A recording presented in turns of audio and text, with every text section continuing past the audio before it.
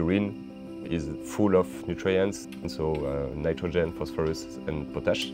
A lot of people were using urine uh, as a fertilizer before we have access to chemical fertilizers. In France, we have already using urine one century ago, but it's uh, a problem of uh, economic model.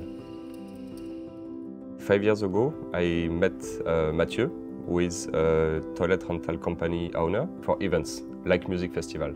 So you have a lot of people just uh, who pee on a music festival, and so he collects a lot of urine every year. He had to pay to drop the urine on wastewater treatment plant. So I, I was thinking that it's it's like a big waste, and I knew that that was potentially a good fertilizer, but also a very good growing medium for bacteria.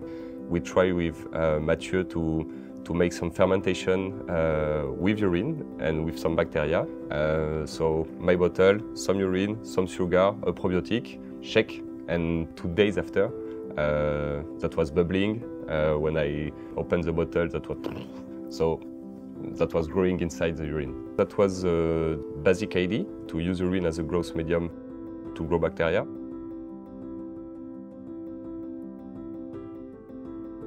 The unique solution we provide is to upcycle urine, but not as a direct fertilizer. But our solution, urine fermentation, allows farmers to replace half of its chemical fertilizers and it keeps the same yield. My main role is to make the dream come true. To do that, uh, we need a right team because uh, this dream is a huge one. There is urine collection, urine upcycling, and urine distribution. And for the urine collection, we have already settled a strong partnership with European local toilet rental companies to collect urine in music festival. And we are developing a web of urine collection in gas station. We install tank of uh, a huge tank to collect the human urine through men and women urinals and then we transport it to our local fermentation plant. In the local fermentation plant, we have our Genius ID and patented process, and our aim is to have local uh, fermentation plants to collect urine locally and to uh, distribute some uh, highly concentrated biostimulants to farmers around the plant because they meet some uh, shortage in fertilizers, high prices in fertilizer, uh, volatility of prices and dependence on import.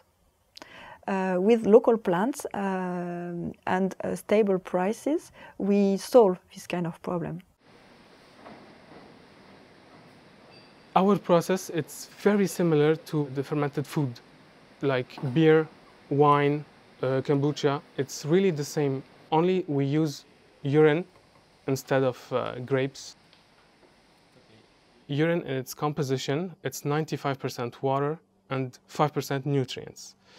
Microorganisms, in order to grow and thrive, they need nutrients like carbon, nitrogen, or phosphorus. And these are the nutrients that we can find also in urine.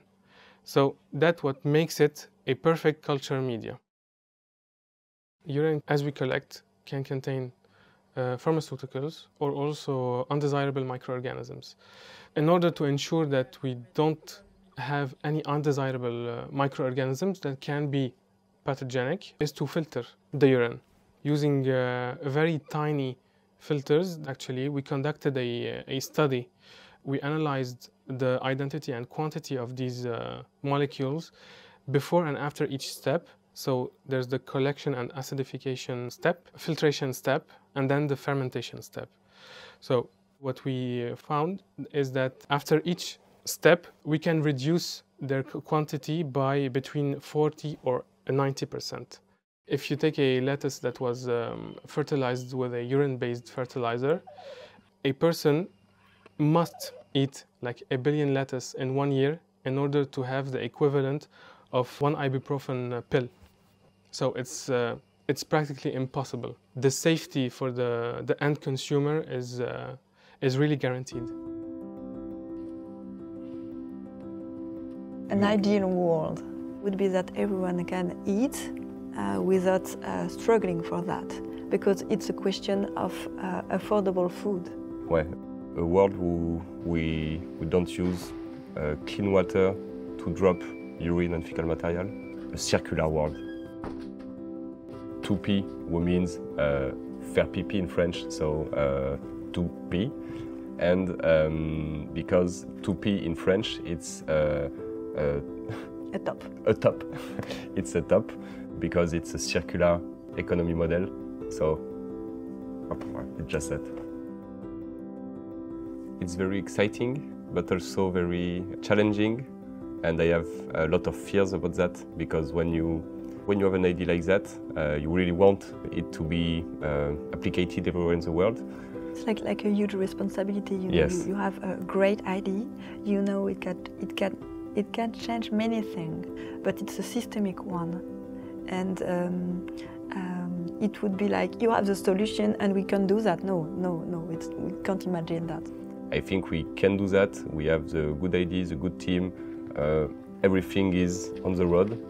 It's a systemic change with possible and realistic and not costly. You don't have to, to punish anyone uh, because we have to be greener. It's easy to uh, pee on a waterless urinal. It's easy to use. It's um, not costly for the farmer. So you don't have any loser on this on, with this system. So. Uh, that's also why uh, we feel so responsible because we have that and we can't just uh, lose.